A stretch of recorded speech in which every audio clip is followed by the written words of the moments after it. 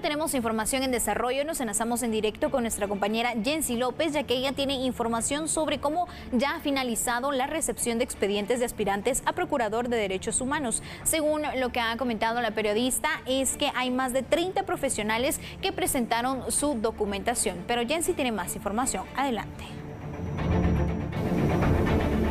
Tardes. Ha finalizado la recepción de expedientes de aspirantes a Procurador de los Derechos Humanos. En estos momentos se nos ha indicado que son al menos 38 profesionales quienes han presentado su expediente ante esta sala de trabajo.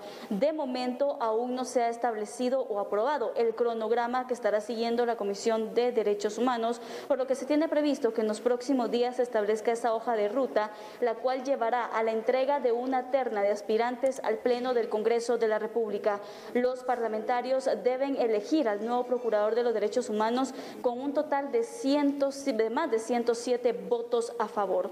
De momento, pues como les indicaba anteriormente, son 38 aspirantes quienes ya presentaron la documentación correspondiente. Recordemos que el nuevo Procurador de los Derechos Humanos debe asumir el cargo el próximo 20 de agosto para estar en este puesto durante un periodo de cinco años. Recordemos que para ser Procurador de los Derechos Humanos se deben reunir las mismas calidades de un magistrado de la Corte Suprema de Justicia. Además, gozará de las mismas inmunidades de los diputados del Congreso de la República.